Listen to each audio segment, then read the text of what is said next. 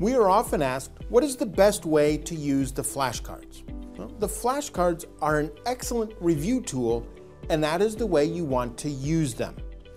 One of the challenges in preparing for an exam is that you must remember the first material that you studied for the entire time that you are studying. So it's important that you have a quick way to review the main points.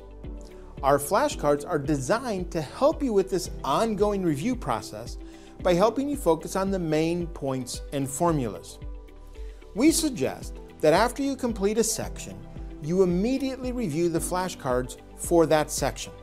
And then, as you proceed to the next section, you're going to review the flashcards from all of the sections you've already studied. For example, after you study Section A, review those flashcards.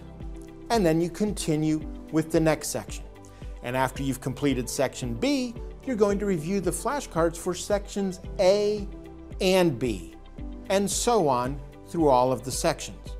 As I said, one of the challenges we have in studying for an exam is making certain that we remember what we studied on the first day all the way through until the time we actually take the exam.